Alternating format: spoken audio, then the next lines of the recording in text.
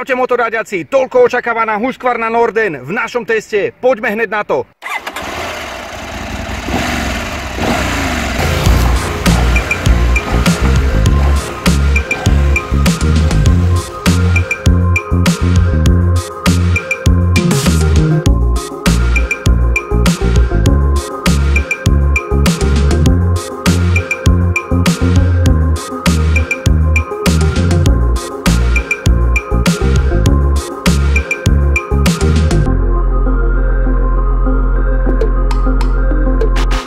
Poďme si Nordena len tak z rýchlika predstaviť, aby sme vedeli, s čím máme dočinenia. Ide o prvú veľkú motorku od Husqvarny, švedskej značky, z hodou okolností jednej z najstarších značiek motocyklových na svete vôbec. Dnes patrí pod Rakúsku KTM a aj preto Norden nie je to žiadnym tajomstvom, že vychádza najmä z modelu 890 Adventure. No ale poďme pekne po poriadku. Tu máme kompletné ledosvetlenie, vrátanie týchto hmloviek, ktoré sú v sérii, to znamená, že netreba si za ne nejakým spôsobom priplácať. Obutie 2118 vypletané, bezdušové, predná vidlica VP Apex so zdvihom 220 mm, kontrolné krúžky sú na oboch šabliach a brzdy sú španielské Chuchuan. Um, oni sú radiálne uchytené, ale nie sú žiadnym spôsobom monoblokové, konec koncov to v teréne ani nie je až tak veľmi potrebné. A veľmi dobrá ochrana motora, ona siaha až po tlmič výfuku, ktorý je pod motorom. Zvody sú vedené bokom, ochrana motora je samozrejme hliníková a tu dopredu sa dá kúpiť ešte aj taký ďalší dodatočný eh, hliníkový diel, Takisto ako 890 Adventure aj Norden má nádrž 19 litrovú potiahnutú až takto dole, čo perfektne znižuje ťažisko. K motoru hadam ani nejako veľmi nemusím nič dodávať, je to paralelný dvojvalec 890 kový s výkonom 105 koní a 100 Nm má krútiaci moment. Zadný tlmič, tiež vp Apex, má nastaviteľné predpetie a odskok. Tuto dole máme tlmič riadenia, ktorý je síce nenastaviteľný, ale namiesto neho si vieš dať akýkoľvek aftermarketový, povedzme aj určený viac do terénu, ak by si potreboval. Ináč veľmi pekné spracovanie.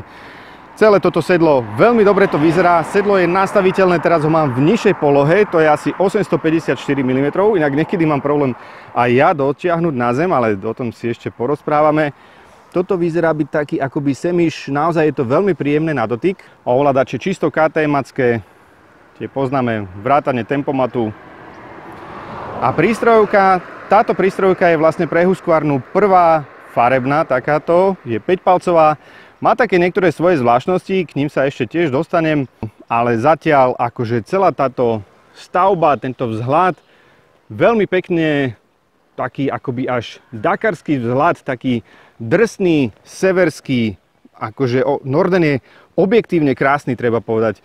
Normálne, že na ňo sa ľudia radi pozerajú, je objektívne, naozaj objektívne sexy.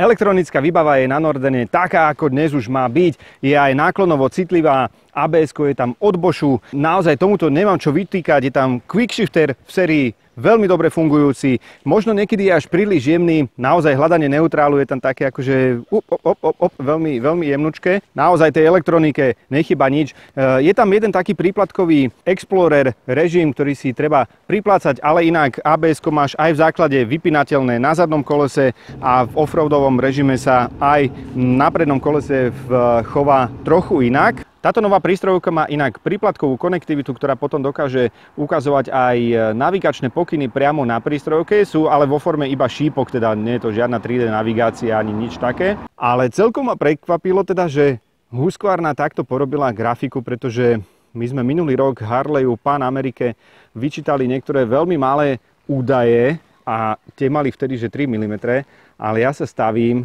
že tuto tie jednotky majú podľa mňa, že 2 mm. Ja teda nenosím okuliare a ne, necítim sa vyslovene byť nejaký starý, ale teda akože mohlo byť toto zreteľnejšie. Aspoň s ohľadom na to, že to má iba 5 palcov tá prístrojovka. No a ako som spomínal tú výšku posedu, mňa to celkom prekvapilo, pretože Norden je výškovo zaradený presne medzi 890 Adventure a 890 R od KTM.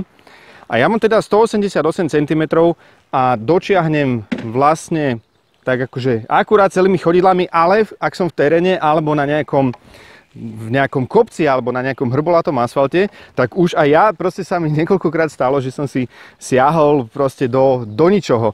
A to mám to sedlo teraz nastavené v najnižšej polohe, to je 854 mm. Ono je celkom tuto vzadu také široké to sedlo.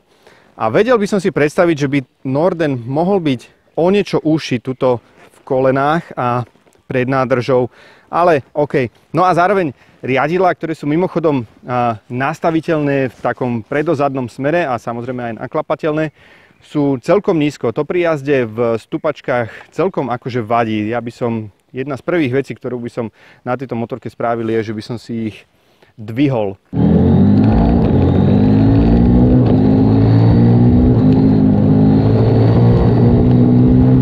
Jazdil som s Nordenom aj v teréne, ale celkom ma prekvapilo, že on sa lepšie cíti na ceste. Trochu som nad tým rozmýšľal, pretože, ako som hovoril, on je, čo sa týka tých parametrov, aj celkovo marketingovo radený presne medzi 890 Adventure a 890 r. E, takže čakal som niečo, že to bude, že si proste ten offroad bude vychutnávať viac. Ale potom som nad tým rozmýšľal, že prečo to tak je. Ale keď si zoberieš už len Husqvarna, čisto švédska severská značka, názov Norden, čiže smer sever. Všetci vieme, ako to tam na severe v Škandinávii vyzerá. Proste také pomaly až taká mesačná krajina alebo niečo také, žiadne nejaké vysok, vysoko ťažké terény alebo niečo také. A na toto je presne Norden aj stávaný. Konec koncov aj tie marketingové materiály, fotky, aj tie videá, ktoré zverejnili, toto len potvrdzujú. Tam nejde o nejaké zdolávanie nejakých blatistých, ja neviem čoho, to proste na to je stávaná KTM, ale aj tou stavbou, aj charakterom a konec koncov aj marketingovo je Norden ladený skôr na takú Pokojnú turistiku by som to nazval. Pokojnú turistiku po horších cestách. A pritom všetky tie predpoklady sú také, že on by mal taký terén zdolávať konec koncov 220 zdvih predu, 215 vzadu, svetla výška dokonca vyššia než má KTM 890 Adventure, to je okolo 250 niečo má Norden e, svetlú výšku.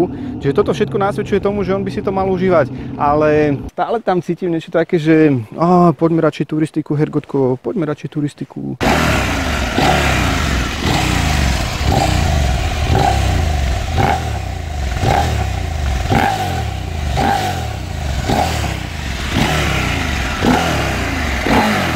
Inak aj ten motor má rovnaké parametre ako v KTM-kách. Aj s olejom, aj s chladiacou kvapalinou váži okolo 59 kg. Naozaj, čiže to je málo. Je to veľmi moderný motor, s ktorým KTM prišla v Dukeovi 790 relatívne nedávno, dá sa povedať. Ona ho už stávala na tie moderné normy. Trochu ma prekvapilo, že v takom štýle jazdy, kedy tomu vyslovene nenakladáš, je ten motor taký, má veľmi taký plechový, až by som povedal, taký nezvyčajne plechový zvuk a aj sa z neho ozývajú také kovové nejaké zvuky. Samozrejme, potom už nakladačka je taká, že tá koncovka výfuku už sa dokáže ozvať, ale iba vtedy, keď nakladaš tomu.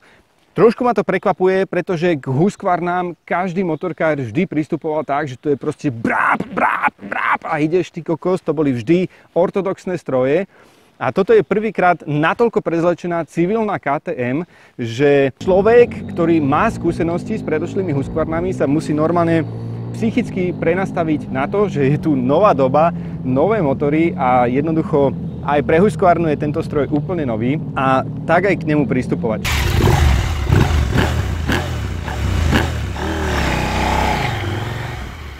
Norden nemá vyslovene nejaké minusy, ktoré by som tu musel spomínať a ktoré by sa mi nepáčili. Možno má iba také zvláštnosti. Z KTM 890 si zobral to, že odtiaľto ide teplý vzduch rovno tebe na holene. Ak ideš cez mesto a máš povedzme iba motorkárske rifle alebo čo takto cítiš a cítiš to dosť. A potom také zvláštnosti ohľadom tej prístrojovky, že tie malé fonty, tak to sú také, no asi si na to zvykne človek. No a potom ešte prekvapil ma ten zvuk, pretože ako som už hovoril, Husqvarny vždy boli stroje, na ktoré keď si sadal, už keď si ich naštartoval, tak proste boli zretelné a počul ťa každý, triasli sa okná a babky po tebe hádzali zavaraninové poháre. No ale tuto už je to proste civilizované. Je to Euro 5, je to prezlečená KTM, je to turista, takže podľa toho je nastavený aj ten zvuk.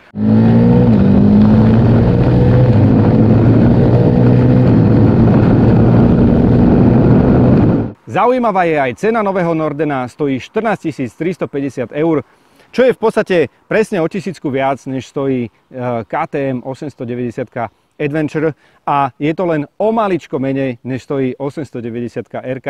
A to sú zároveň, dalo by sa povedať, aj jediní dvaja konkurenti, ktorými ku Nordenu napadajú. Možno ešte Triumph Tiger 900 vo verzii Rally dal by sa považovať za určitého konkurenta, ale hlavne tie ktm budú takí výrazní rivali, som si takmer istý. No a celkovo tá cena je možno trošku vyššia, ale Husqvarny vždy boli ladené vyššie než ktm a zároveň, keďže KTM vlastní Husqvarnu a nie naopak, tak KTM vždy bude nejakým spôsobom znevýhodňovať tú, tú Husqvarnu.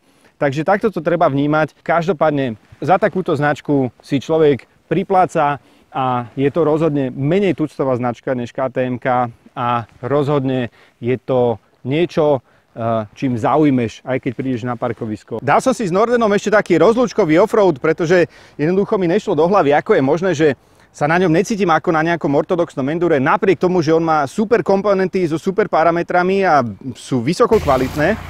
No ale pravdepodobne to bude jednoducho stavbou toho stroja. On uh, jednoducho má viac tých kapot než KTM. Je taký akoby robustnejší a stále navodzuje dojem takého turistického stroja. Akože áno, 21 18 povozíš sa dobre, ale on si to priamo ako keby nežiada. Jednoducho ten Norden si to nežiada. Aj teraz je, akože celú noc pršalo a tu sú niektoré úseky, že úplne zalieta, že jednoducho nemám, nemám šancu prejsť, uh, že nie, že po blate, ale musím prejsť cez celé mláky. A Norden, akože on to dáva, on to zvládne všetko, ale vyslovene ti nepovie, že, že pozri sa, pršalo celú noc, poďme sa rýchlo povoziť, nech ma poriadne zablatíš. Toto on nie. On, akože aj keď navozíš spolujazca, taká normálna turistika okolo kilečka, kilo 20 a podobne, tak, tak to zvláda. Nuža v zmysle tej turistiky ma potom prekvapila už iba jedna vec a to je, že aké veľmi krátke má Norden plexi. Ako s ohľadom na terén to chápem, pretože pri niektorých manévroch v teréne potrebuješ nízke plexy a konec koncov potrebuješ dobre vidieť na cestu pred sebou a ešte stále môžeš preletieť cez riadidla a bol by si rád, keby ti tam nič nezavadzalo a aby si sa o nič neporezal.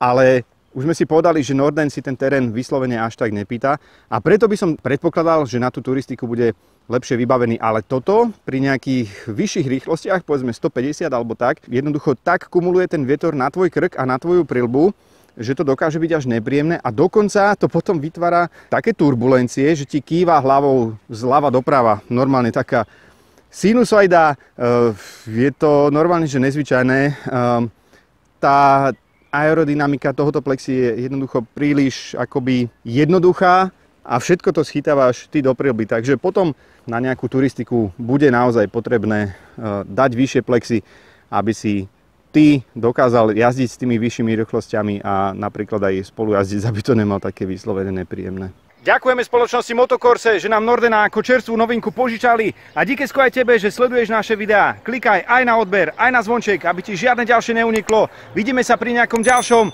alebo niekde na cestách. Zatiaľ sa maj. Čaues!